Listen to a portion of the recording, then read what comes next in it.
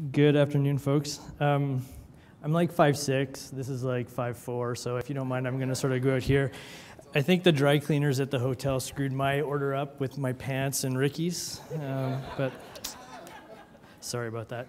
Um, Ricky was right about the uh, the pressure on the on the farm out at UBC though. That uh, 23 acres of land that they hold out there right now, they're selling condos uh, on the west side of Vancouver for about 850 to 900 dollars a square foot. So you want to talk about immense pressure on that side, yes. So we won't talk about real estate either, but uh, so yeah, how many people here over the age of 55? No lying, put your hand up. Okay, how many people under the age of 55? Yeah, I see a bunch of liars out there. It, it, you guys, this is actually really interesting because I've been, you know, I give a lot of talks, and uh, you guys are a really young, young crowd. So very atypical uh, relative to the demography of Western Canada, um, and you guys are all much better looking as well. So, nonetheless. I'm going to start here, and I'm going to start like the other speakers. I'm going to start with my conclusions, only because I'm a really tangential thinker, and if I don't get to the end, then you can't fault me for not actually making any conclusions. The demographic and economic changes that we're going to experience in the coming decades aren't going to be simple extensions of past trends. I'm a forecaster, I'm a nerd, uh, I do a lot of forecasting, and it, a, lot of the times when I look at the economy and the demography and I try and stick those two things together, uh, I come up with an unresolvable future, and I'll get into this a, a little bit uh, later. Work and workers, so the economy and both our labor force, have enjoyed a real blessed time over the past four decades. That's because it's one that's been characterized by a relatively large contributory population and a relatively small beneficiary population. That's the post World War II boom generation. So lots of people in the workforce, not a lot of people in the retirement stage of the life cycle. That's certainly going to change. Uh, no single approach is going to be sufficient to address both the diversity of opportunities and challenges that are going to arise in the coming years. And this one is a little bit sort of tongue in cheek. Ready or not, here it comes. All cities, all sectors, all businesses, we're all going to have to manage a future that is much, much different than what we have all become accustomed to to this particular point in time. So I'm going to. Uh, take lead from uh, Michael Bloomberg, former mayor of, uh, of New York here, and say, In God we trust, all others must bring data. I started by saying I was a data nerd. I'm going to go through 164 slides for you guys in the next 45 minutes. Hold on to your seats. Them to put little handles on for you. Um, but that said, my presentation isn't available uh, in its entirety only because I'm on a licensing agreement for some of the data that I have to purchase and I'm going to present. So what I do promise to you guys, though, is if you see something that is in the presentation that you want, the numbers on the data slides are down in the right-hand corner. Uh, write it down, and you can email me at the office. It's just mail at urbanfutures.com, and I would be more than happy to pass the data on to you if I can, and if not, at least let you guys know where uh, I managed or how I managed to acquire it. So, and uh, just by way of that, Bloomberg actually ripped that off as well. It was a statistician named William Deming who, uh, who coined that phrase. So, but he's the one that says it all the time. So, let's start with the history of the unemployment rate when we're looking at this issue of changing people, changing places, and changing notions of, of our workforce. If we look at the unemployment rate in Canada, we look back to 1976 and we can see that from about 1982 on, there was this sort of general decline outside of the big economic fluctuation that we saw through the late 80s and early 1990s, where the unemployment rate came back up to about 10%. And then from that early 1990s period, you can see that sort of general decline down to about 2008. And then what happened? Well, the world sort of went to hell in an economic handbasket from that point. The West showed exactly the same pattern up to that point all provinces in Canada in and around 2008 actually reached low points, historical low points with respect to their unemployment rates. Uh, Alberta and uh, Saskatchewan were the two lowest in the range of 3.5, 3.8%. Now, from that 2008 period, as the economy shook itself out, we saw the unemployment rates increase pretty significantly. Canada up to just north of 8%, and Western Canada, that's Manitoba westward, uh, about 6.7%. And then once things sort of we actually fared relatively well coming out of that global economic crisis. And, and then once we got our feet back underneath us, what happened? Well, we saw the unemployment rate again start to come down. Uh, Canada, by April of 2015, about 6.8%. Western Canada, 5.7%. So you can see over this longer term, there's this general trend towards a decline outside of the economic cycles which last about 10 years, we can see this general decline with respect to, uh, to the unemployment rate, both locally within Western Canada, uh, nationally. But if we look at every individual province as well, just about that same pattern, all different levels definitely, but that same pattern of a general decline in, in unemployment rates as we, uh, as we go forward. Oh, thank you so much, sir. Appreciate that. So, what's going on here? Well, let me ask, somebody can shout this out. Most typical Canadian in 1981, how old? Does anybody want to hazard a guess? Younger, 20 years old. So leading edge of the post-World War II boom was 10 years older than that, so in the range of about 30. Big bulk of people just entering the labor force. So labor force growing more rapidly than what, than what employment did, but has upward pressure on the unemployment rates. So if we look to today, 2015, how old is the most typical Canadian? Does anybody want to hazard a guess? Oh, close one over here, 52. So much different context, uh, starting to contemplate Freedom 55 and early retirement. And again, that's the most typical Canadian. Leading edge of the post-World War II boom is actually now over 65 as well. So a much different economic, a much different labor force context with respect to uh, the people working in, in the labor force. So, as this so clearly shows, we are sort of moving towards a much different period with respect to the relationship between work and workers due to changing demographics. Um, this is going to change all aspects of our labor markets, but more importantly, it's going to change all aspects of how our labor market interacts with the economy as well, as the, the unemployment rate and really slow growth in our labor force across Canada, as specifically in Western Canada as well, has the potential to put the brakes on economic activity in the coming years.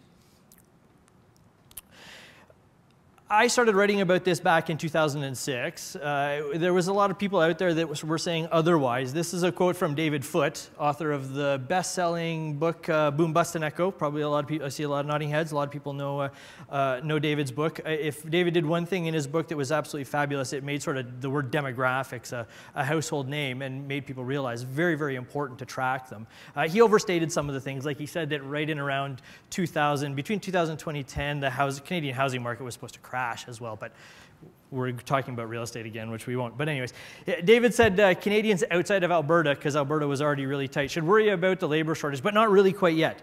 Uh, national unemployment rate at that point was about 6.4%, and there was no need, there was no national labor shortage and what we went till the end of the next decade, which was about 2010. So, you know, from a long-range perspective, I take a little bit more of a strategic management side of things to say that, hey, yeah, that might be the case. It might be a little bit farther off, but we need to recognize that we certainly have a challenge because this is a long-term structural challenge that, uh, that we're all going to be dealing with.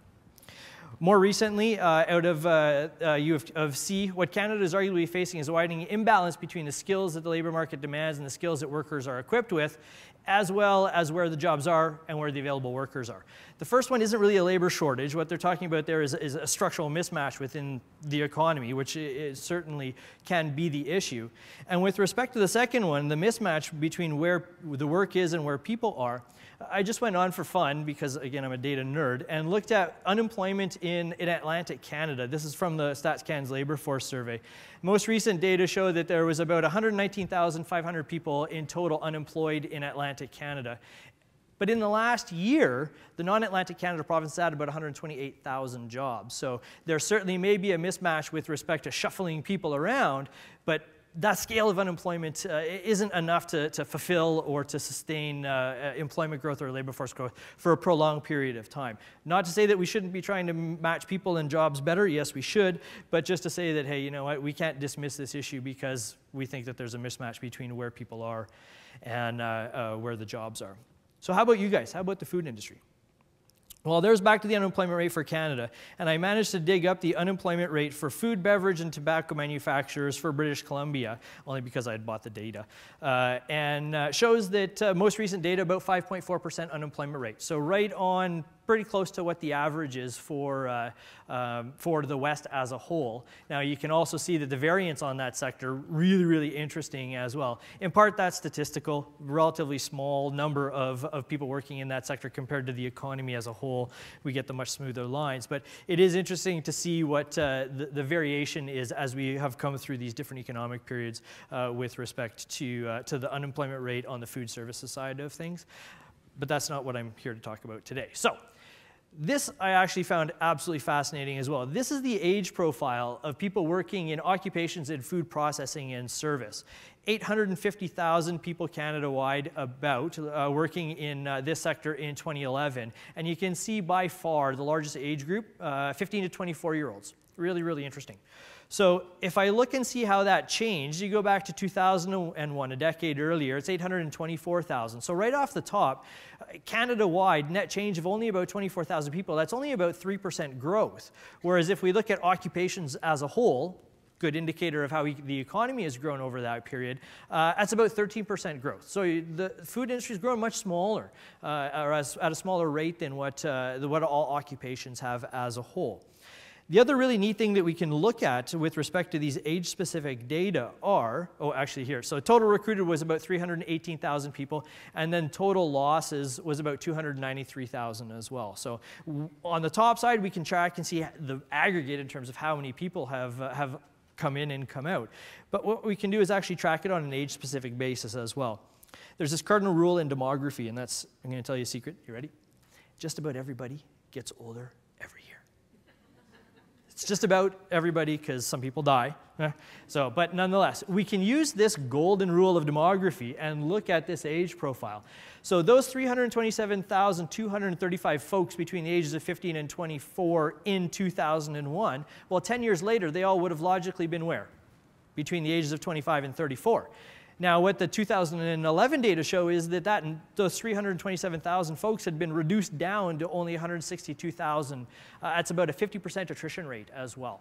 So we can use these attrition rates over time between these age groups to say, okay, well, we know what the 2011 data show. Well, what if we applied those attrition rates to the 2011 stock of folks? Let's see how attrition would work on your particular sector and uh, what the implication of an aging population and demography would be. Well, what I found in doing that was that there you go, let's shift everybody out, everybody 10 years older, and apply the same attrition rates. Total losses uh, between 2011 and 2021 would be about 320,000 people. So that's about 30,000 more than what you guys would have seen in the previous decade. So the big question becomes how do you guys typically, as an, as an industry or as an occupation, fill that in? It's to hire more 15 to 24 year olds, right? And to fill in that 320,000 at the beginning of that age profile. This becomes even more interesting if I flip it around and say, okay, well, let's look at the population as a whole in Canada by age and do the same thing in terms of aging it forward in my demographic model.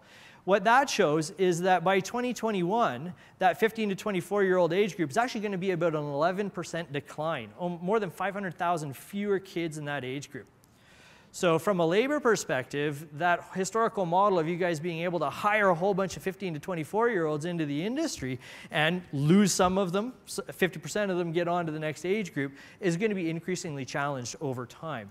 The flip side of this, if you look at the 65 and over age group, well, that represents about a 43% increase in the number of 65 plusers uh, in that 10 year period. 2.1 million more folks over the age of 65 Canada wide.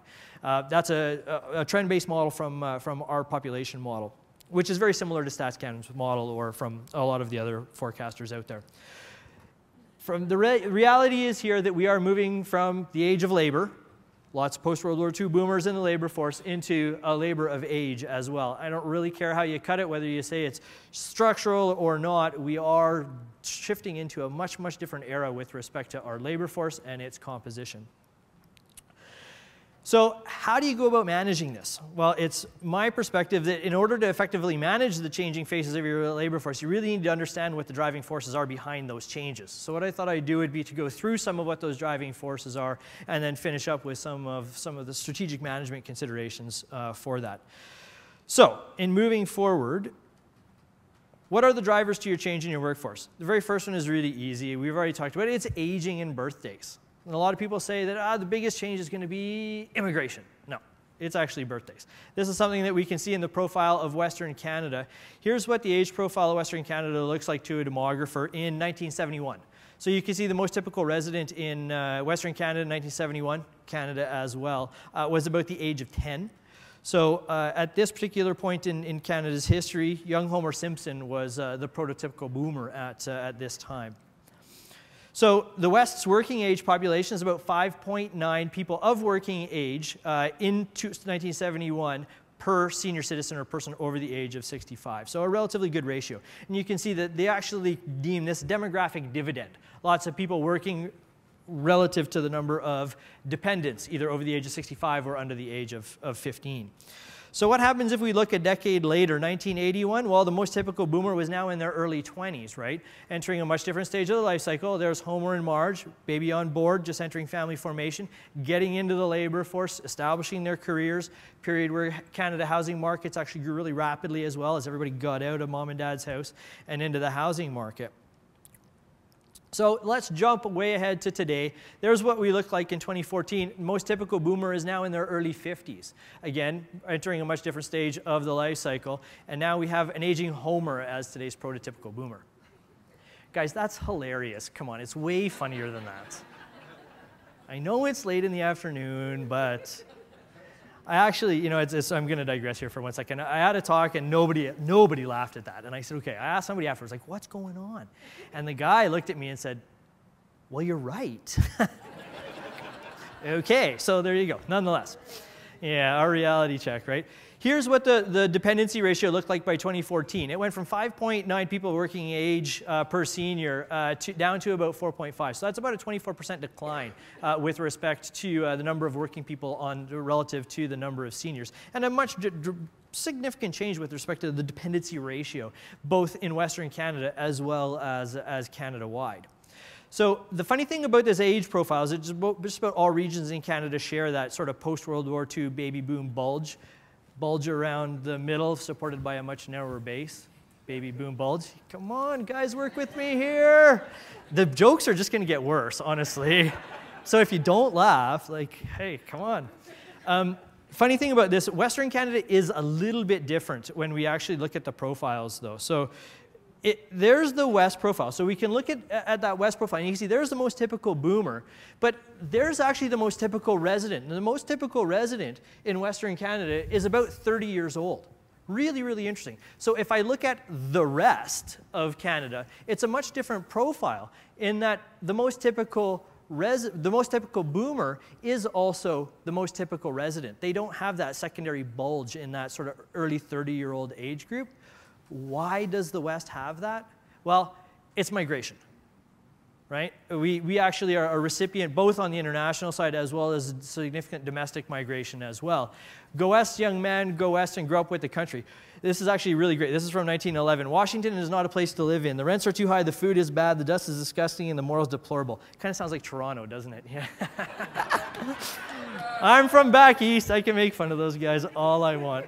Go west, young man. It's still happening. It is definitely still happening. That's why we see it's not a, a, a, boom echo by any stretch of the imagination. It's because we have people migrate out west. And uh, where do they come from? They come from the Maritimes, they come from Quebec, some of them come from Ontario. Look at their profiles, it's obverse. They have a much narrower stage in that sort of 30 year old age group. Okay, so birthdays. The next one is a really significant shaper to your future workforce is going to be life expectancy now. At the office, we talk about deaths in a demographic context, but you know, when I get out on the road, I like to be happy, so I talk about life expectancy, which is just the obverse of deaths.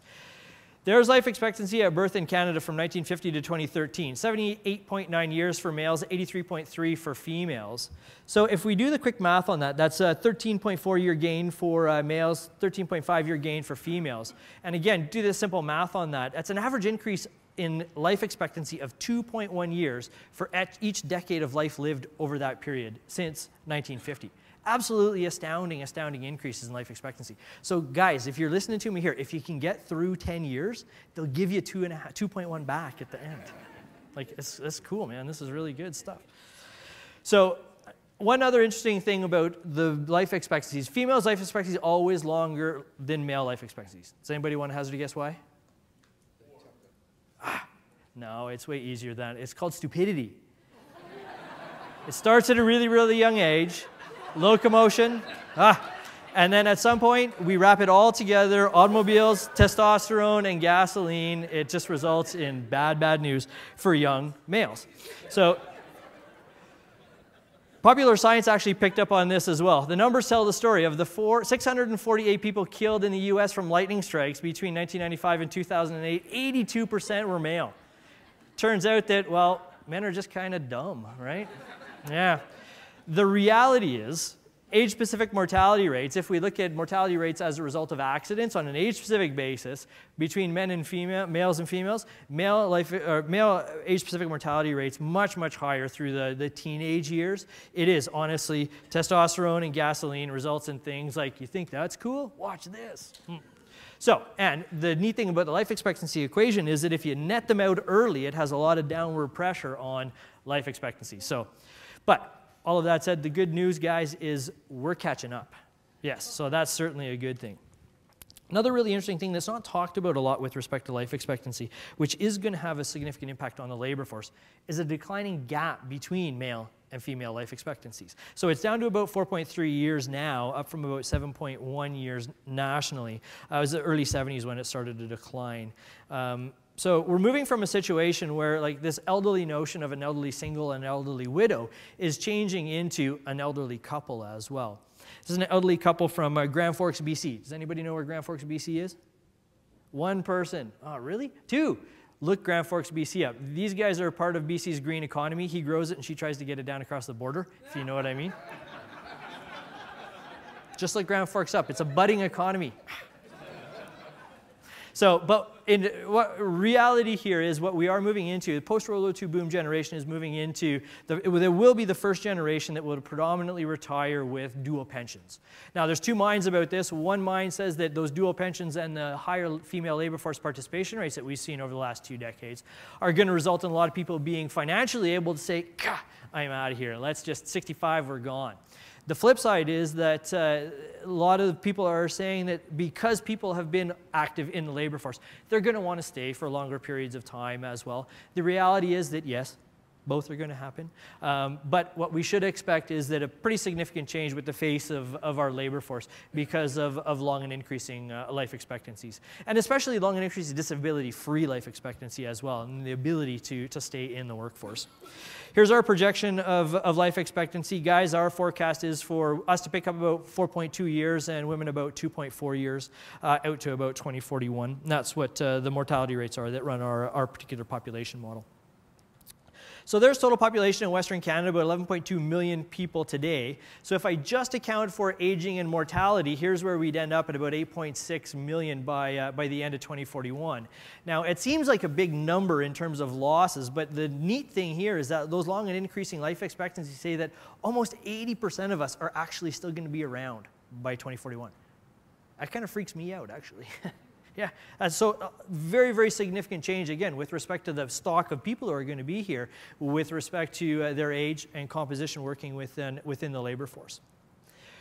So long and increasing life expectancy is going to see a whole schwack more gray hair in our workforce than any other previous generation that, uh, that's come through the workforce as well. And we certainly should be, uh, should be prepared for that.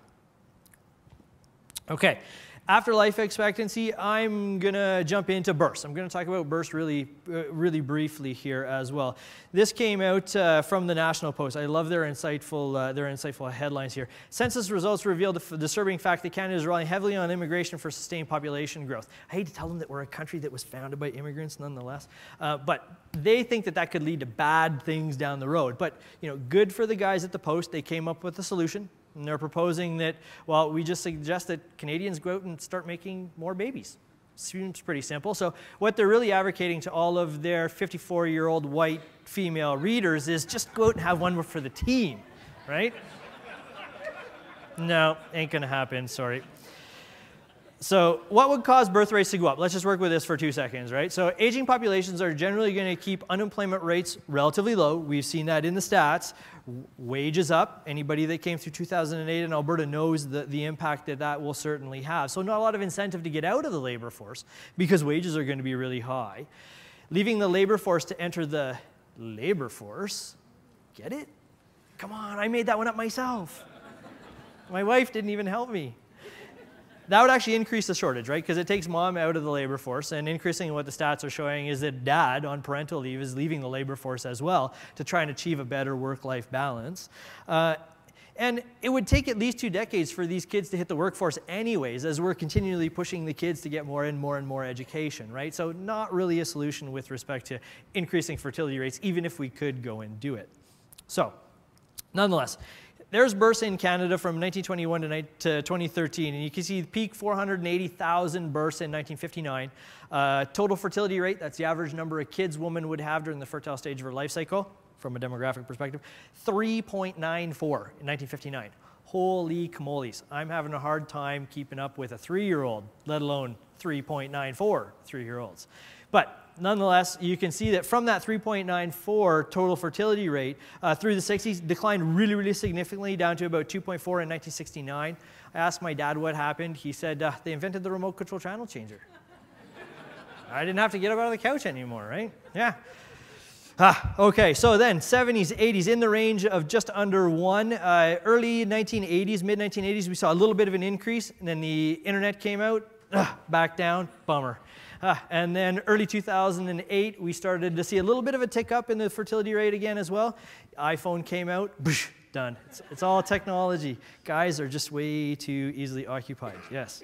So, what does this mean with respect to labor force? Well, if we look at that from a demographic context, a population, the base of that population will grow wider if a total fertility rate is above 2.1. That's when mom and dad just replace themselves. The 0.1 is to account for infant mortality. Any rate below that over longer periods of time, a population, the base will shrink and it will get older much more rapidly. So you can see Canada-wide, we've been in this situation from about, 19, from about 1972. All provinces all regions in Canada share a very similar profile. So what's happened? Well, what we've seen is an average age at birth increasing very, very significantly and a postponement of, uh, of childbearing into later stages of the life cycle. Now, as a dad in, or as a first-time dad in my late 30s, my wife and I are painfully aware of what happens when you don't start this process until very late in your life like the time the clock's ticking man. Outside of that i have no energy at the end of the day to do anything else. So nonetheless 28.5 we're approaching 30 years old for the most typical age at, at first birth if I look at uh, all provinces in Western Canada as well, there's how they chalk up. Uh, Saskatoon sits at the top. Uh, interestingly, Sas Saskatchewan has a, a, fertility rate right at the replacement level, about 2.1. Uh, Alberta, and Manitoba, both at 1.9. All three of those above the national average at 1.6. BC, 1.4. Hmm. Yeah, it goes back to all those pot smokers. all the poor little homers are swimming in circles. don't, don't, don't. So, uh, yeah. Sorry, it's, it's fun to poke fun at my home. There's our forecast of fertility rates in Canada. Uh, the total fertility rate remaining relatively constant at about 1.6. That's not to say it's not going to change. That's to say that continued postponement. So any increases that we see in those older age groups are just going to be balanced off with declines in the younger age groups as kids stay in the parental home for longer, longer periods of time. It's really hard to have a kid when you're living with your folks, believe me. Yeah. Whew. So from a demographic perspective, I can wrap this into the population and look at what the demography implications would be.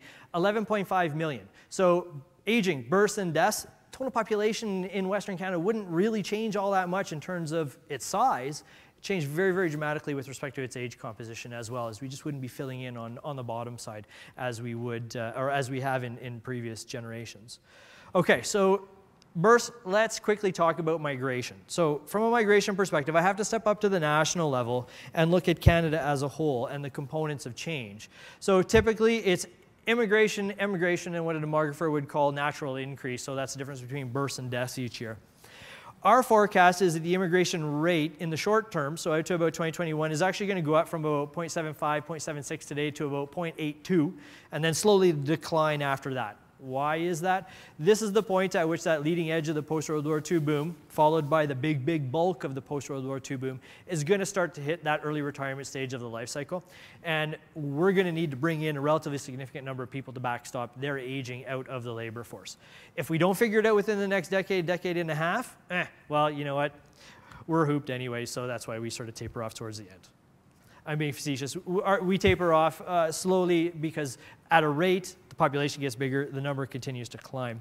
Our immigration number in terms of our baseline is for uh, immigration to go from about 260,000 folks today up to about 325,000 uh, annually in. Now, StatsCan used to run a, a baseline 250,000 immigration, uh, like sort of like an apolitical uh, uh, forecasting tool. Uh, they had to change that about six years ago when the number actually went above 250,000. They've adopted a similar approach to what we do here with respect to an immigration rate uh, increasing in the short term, in part to compensate for some of these labor issues that, uh, that we're going to see. Immigration certainly going to grow as well. Our forecast is it to go up to about uh, uh, 70,000 net outflow as well, which would lead to net immigration in the range of about 255,000. Uh, a little bit below what we've seen in the recent history, but significantly above where we look back uh, if we look back over the next the past decade and two. So, from some people's perspective, that would be a relatively robust assumption about immigration. Now, a good number of years ago, a decade ago, one of the policy objectives in the, one of the liberal red books at the, at the federal level was to, to move towards a 1% immigration rate. So given this at point A2, you can see what the implications would be there. That would be a, a very, very robust uh, uh, assumption about future immigration. So I call this middle of the road uh, assumption about immigration. But look at what that middle of the road immigration assumption does with respect to natural increase. By 2031, natural increase is actually going to become natural decrease. So that's the point at which there'll be more deaths in our population than there will be births. And all net growth in the Canadian population will be as a result of net immigration. Yeah, really, really interesting. So you know, there are some significant demographic consequences to, uh, to that level and, and pattern of, of net immigration going forward. So where would Western Canada go once I wrap immigration into that? Well, our forecast is to grow by almost 30%, uh, about 3.2 million more folks. But if I look at that on, a, on an annualized basis, that only represents about 0.9% compound annual growth rate over that period. And you can see how that growth rate would go from about 1.8% today and fall down to less than half of that, about 0.6% by the end of the projection period. Again, the influence of an aging population, uh, a lot more, more, mortality at the top side of that profile than, uh, um, than additions to the bottom side of it. Here's what it looks like in terms of the age profile going forward. And you can see much more change at the top side of that profile as it walks its way forward than on, uh, than on the bottom side. So some pretty significant labor force implications here, both for Western Canada. Uh, the profile, if I look at Canada as a whole, or the rest of Canada. This is optimistic. Like you look at the bottom side of that and you look at the 20 to 35 year old age group, and you know what? It's not a lot of growth, very little bit. If I look at the rest of Western Canada, it's actually no growth or negative growth, depending on what region. So Western Canada certainly does have an advantage with respect to attracting that young segment of, of the labor force as well. On the number side, 65 plus and 65 and better, that's more than a doubling, about 166, 1.66 million more people over the age of 65. Prime working force stage of the life cycle, about 20% growth, 1.17 million more workers. And then that uh, 0 to 24, the youth, uh, only about 11% growth, 300 76,000 more kids in that profile.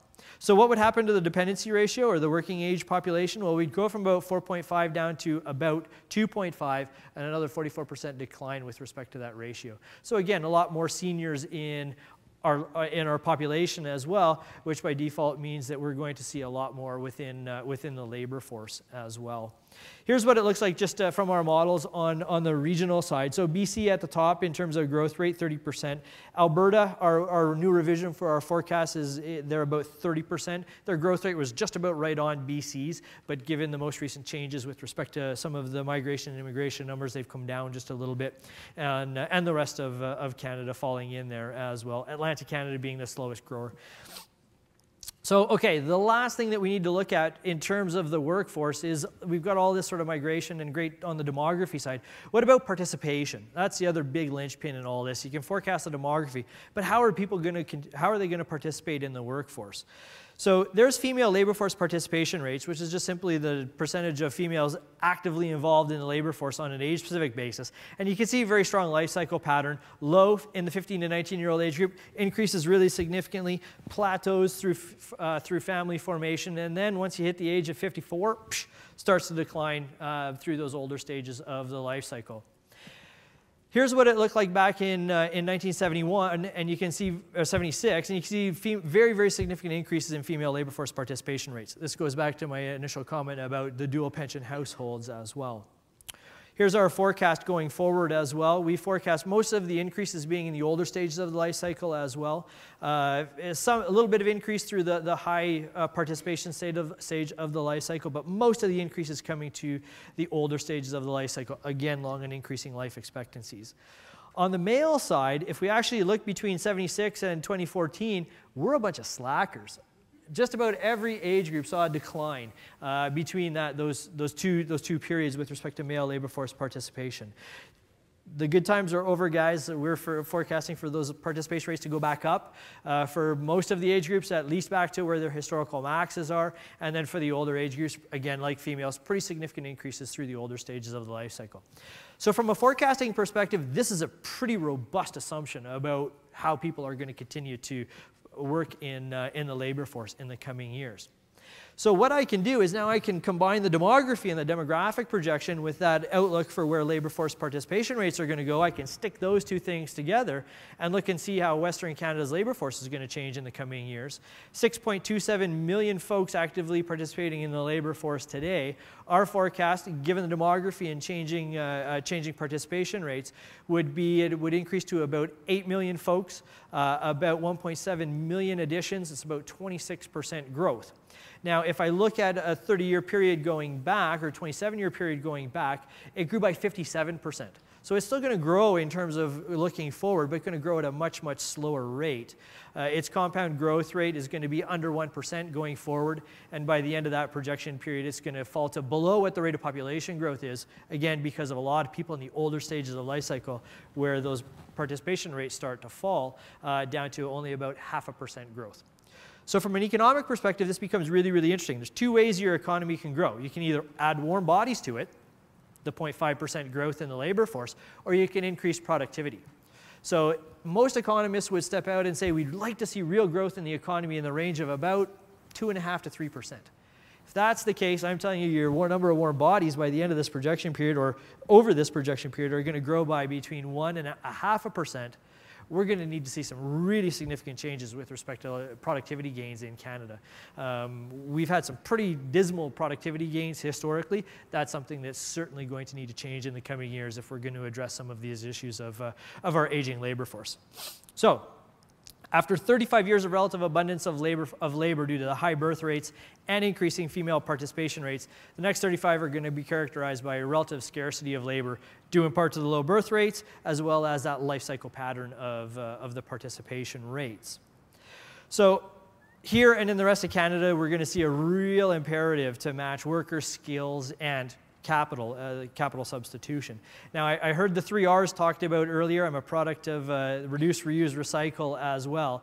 So yesterday's three R's, I see them sort of shifting gears, and today's three R's, it's not reduce, reuse, recycle, it's recruit, retrain, and, and retrain.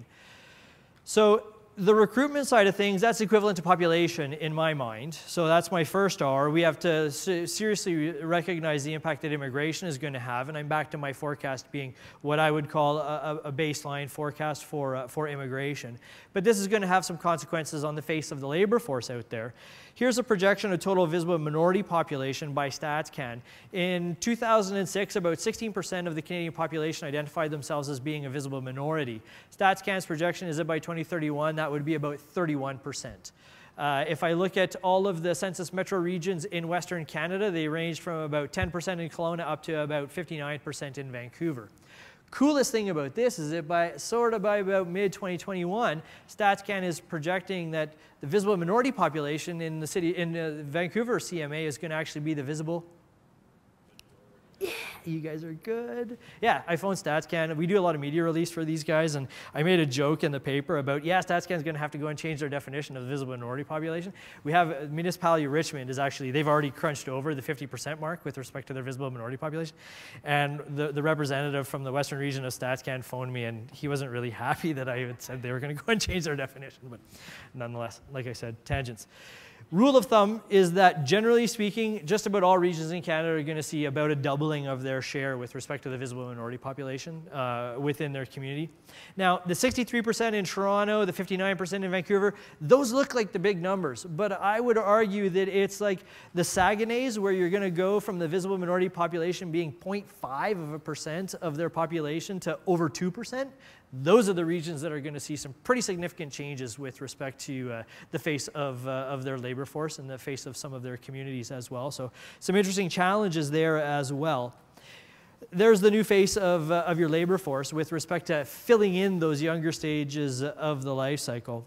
So this has a whole bunch of implications on how to deal with the next generation of the workforce. Here's an example of Standen's. Stand is a Calgary-based manufacturer of automotive parts. They make brake parts and stuff. About 550 people employed. This was a couple of years ago. About 60% of their workforce were immigrants. And to get full ISO certification, about 200 of its employees underwent language training paid for by the company, part of it actually happening on company time as well.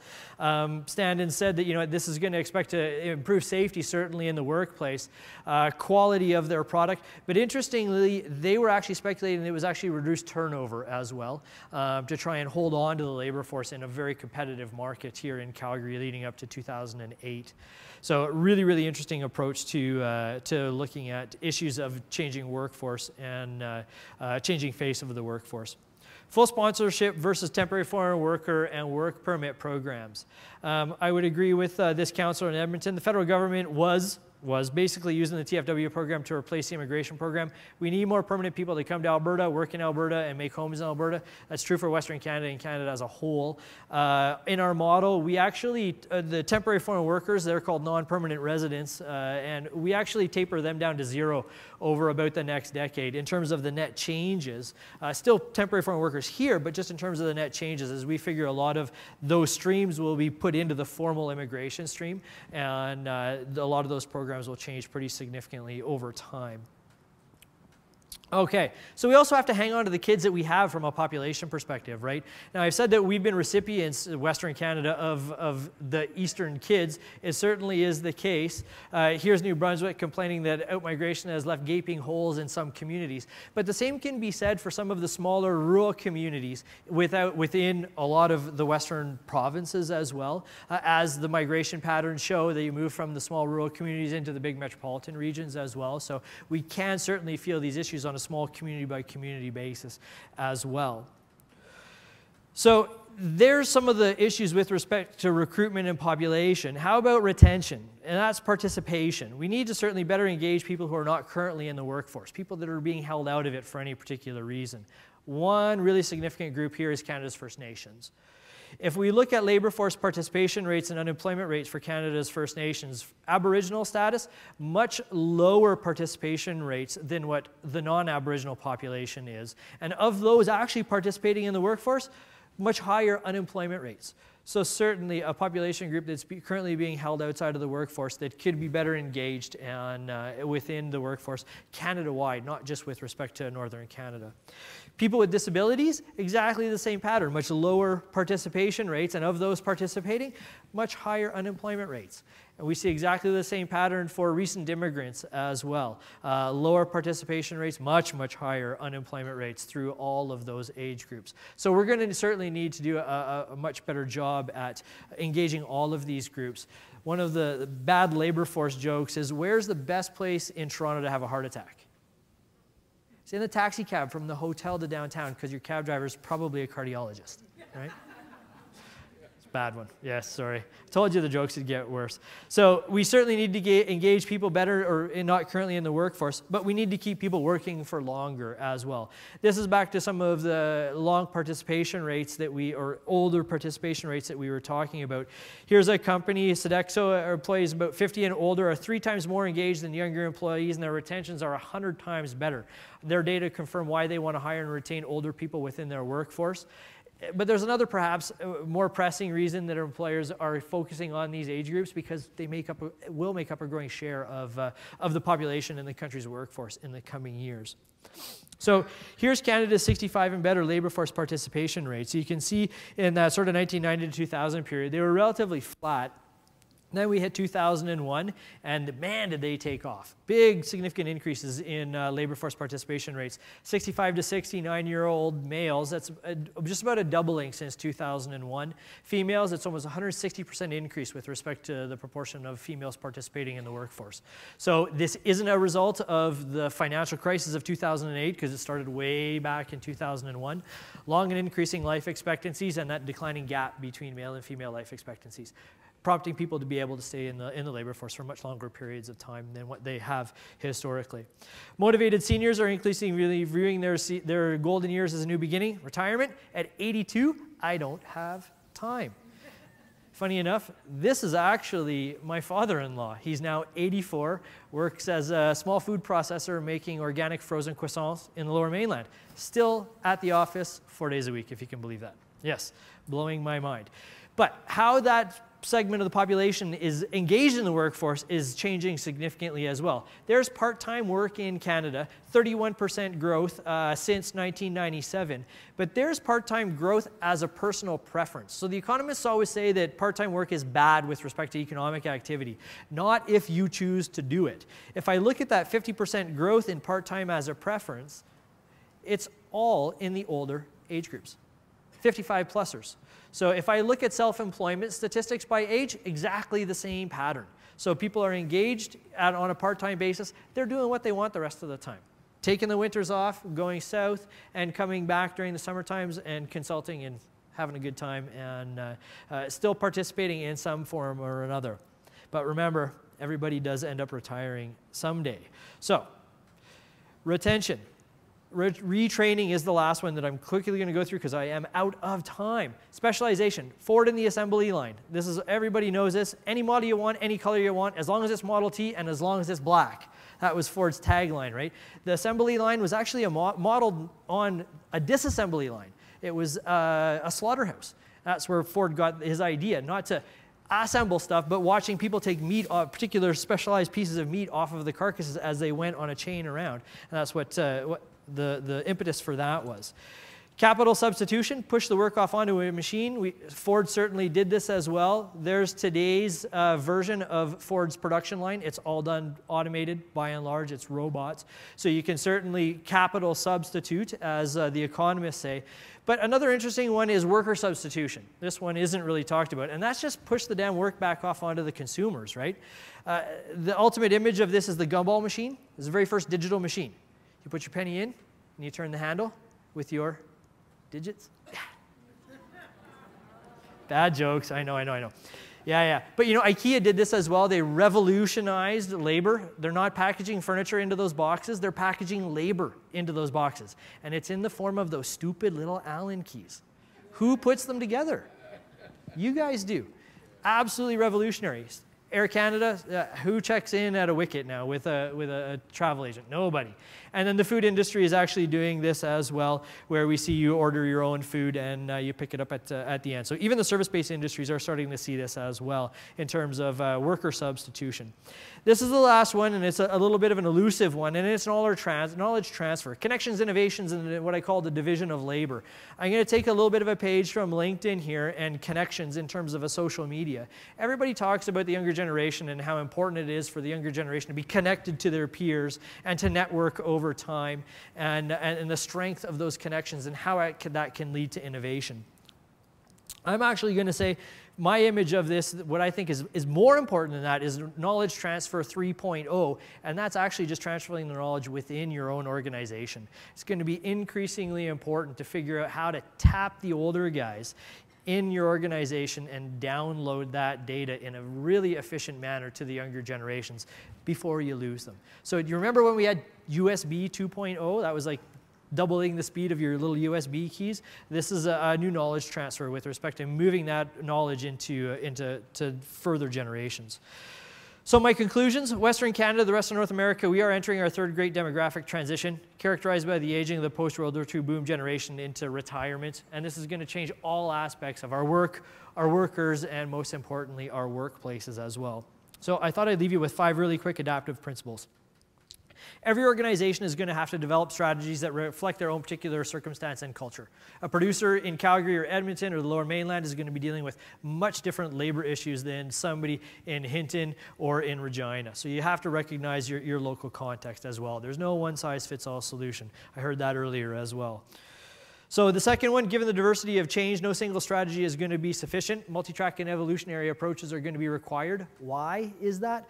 Well, as an organization, as soon as you adapt and get above the crowd, what's going to happen? Well, everybody's going to tag along as well and use your particular innovation. So you've got to be on your toes uh, in dealing with a lot of these issues.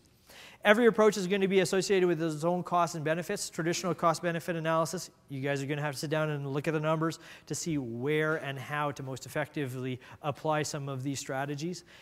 No short term solutions to long term structural change. That's what we're dealing with long term structural demographic change and economic change. And the last one I absolutely love simple solutions are only fitting for simple problems. This is not a simple, simple problem, so there will be no simple solution. And finally, a quote to follow off on. It's my favorite of all time Sir Charles Darwin on managing to change. And ironically, managing to change, not just managing change. Darwin said it's not the strongest species that survive nor the most intelligent, but the ones that are most responsive to change. And that's what we're going to be dealing with in the coming years. So I thank you very, very much. I'm five minutes over, but you know, you guys did really well. 164 slides. Thank you.